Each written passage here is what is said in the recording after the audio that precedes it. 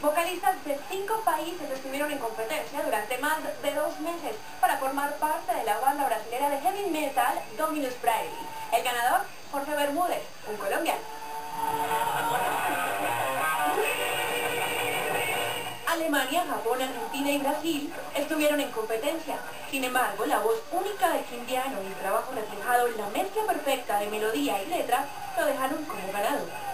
Bermúdez, el productor Jorge Holguín, ampliamente reconocido en la escena musical colombiana, se unen en este proyecto y viajarán a finales de este mes a Brasil para unirse con la banda.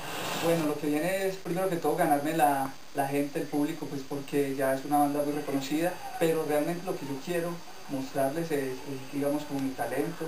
Dominus Praeli y su nuevo vocalista trabajarán en el nuevo álbum y luego comenzarán una gira por todo Brasil, expandiéndose luego a toda Sudamérica y Europa.